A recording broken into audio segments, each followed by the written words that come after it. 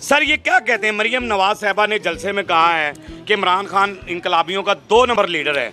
मेरा तो... बेटा आज आप एक बात बताएँ मुझे। जी। जिस लड़की ने अपने माँ बाप की इज़्ज़त ना रखी हो वो लड़की इस कौम की इज़्ज़त कहाँ से रखेगी? मुझे ये बता दें बस आप। हैं? जिस लड़की ने माँ बाप की इज़्ज़त नहीं रखी उसने कौम की इज़्ज़त क्या रखनी? जो ये कहे कि जनाब मेरी पाकिस्तान में तो क्या दुनिया में कोई जायदाद नहीं और फिर एक अरब की उसकी जायदाद निकल आए। किस लड़की के बारे में पूछ रहे हो भाई? वो नानी है लड़की नहीं है।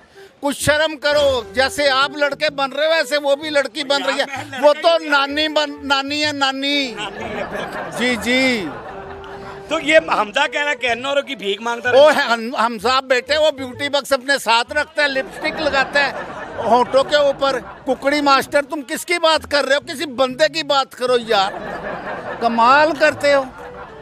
हैं? बिल्कुल सही है। यार लव यू चाचू। अच्छा चाचू मुझे ये बता दीजिएगा कि इमरान खान एक नंबर है दो नंबर है?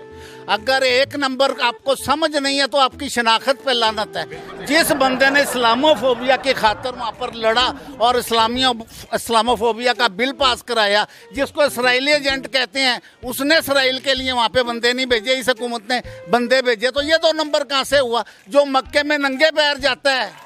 हाँ? वो दो नंबर कहाँ से हुआ? मौलाना फजल रहमान का अखबार में आया हुआ है। क्या आया हुआ है? कि जनाब अगर ये हुकूमत उसे कबूल करेगी इसराइल को तो मैं वेलकम कहूँगा। अच्छा जी। हाँ जी। और किधर गए लब्बैक वाले ये? और रजवी का बेटा?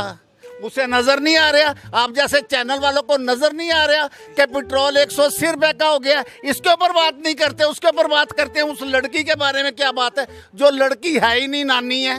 ओ यार, जाओ, अकल का इलाज कराओ अपनी।